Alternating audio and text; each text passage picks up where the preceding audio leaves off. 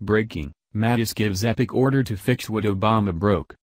Under former Commander-in-Chief, Barack Obama, the U.S. military was increasingly faced with new restrictions and requirements, which were often designed to generate political points.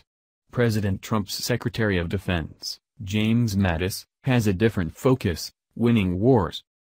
In a memo obtained by the Military Times, Mattis has ordered a review of all requirements for mandatory force training that does not directly support core tasks.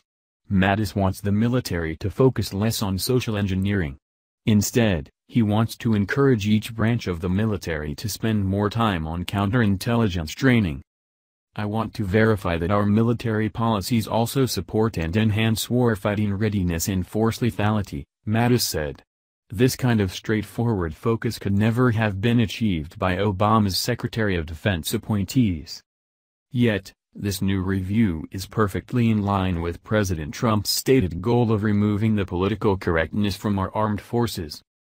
As a presidential candidate, Trump was asked how he would be different from the Obama administration in actions related to the U.S. military. A questioner asked, Sir, the U.S. military has been long successful because of the warrior ethos that's part of its DNA. But under the Obama administration, that ethos has been under attack and in some cases, undermined by the forces of political correctness. The military has become an institution for social experiments and as a result, the military's undergone a number of changes through regulations with regard to women in combat, transgender rights, and other issues. The questioner continued. None of these PC actions were combat effective or readiness driven. Trump agreed and argued, you're right, we have a politically correct military and it's getting more and more politically correct every day. And a lot of the great people in this room don't even understand how it's possible to do that.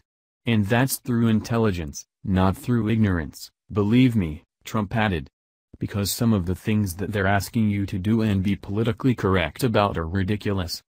In line with that sentiment, Mattis sought to refocus the military. In his typical poetic way of phrasing all matters of war, Mattis wrote in his latest memo that he wanted to see a concentration on the art and science of war fighting. The process for hiring civilian workers will also be reviewed during this process.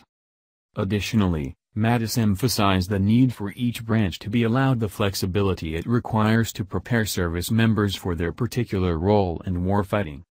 This review will be conducted by a working group under Anthony M. Kurta, the Pentagon's Undersecretary for Personnel and Military Readiness.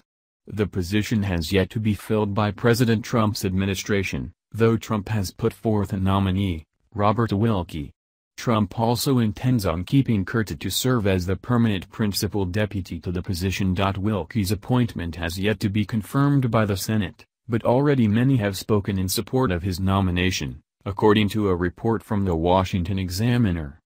Senator Thom Tillis, RNC, has said Wilkie has unparalleled experience, wisdom, and insight when it comes to military issues and understanding of the challenges facing our men and women in uniform. It is unclear if Wilkie will be confirmed in time to contribute to this new review ordered by Mattis. It will be completed by December 1, 2018.